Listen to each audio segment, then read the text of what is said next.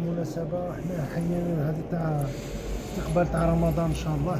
يكون خير وفال على لينا وعلى الأمة الإسلامية. والله ينصر غزة والله ينصرهم والله ينصرهم والله ينصرهم.